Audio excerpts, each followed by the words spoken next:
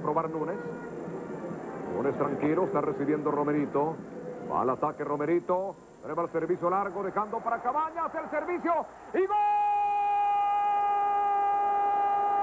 de Paraguay!